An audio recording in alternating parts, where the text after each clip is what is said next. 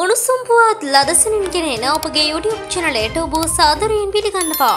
මෙන්න දැල්ලපුණු තවත් උණුසුම් පුවතක්.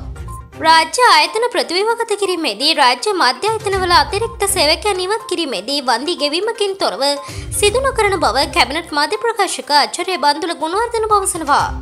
රාජ්‍ය සංස්ථා ව්‍යවස්ථාපිත මණ්ඩලවල ඇති වන්දි සූත්‍රයට අනුව කටයුතු කරන බවත් මීට පෙර අවස්ථාවලද එම ක්‍රමවේදය යොදාගත් බවත් ඔහු පැවසුවා. නමුත් පසුව පත්වන අමාත්‍යවරුන් විසින් එම ආයතනවලට තම හිතවතුන් පත් කර ඇති බවත් මෙවරදී කිසිසේත් එසේ නොකළ හැකි බවත් ඒ සම්බන්ධයෙන් කමිටු මගින් අධ්‍යයනය කර වන්දි සූත්‍රය අනුව කටයුතු කරන බවත් ඔහු ප්‍රකාශ කළා. මෙවැනි උණුසුම් පුවත් ලදසනින් දැන ගැනීමට අපගේ YouTube චැනලය සබස්ක්‍රයිබ් කර බෙල් අයිකනය ක්‍රියාත්මක කරන්න.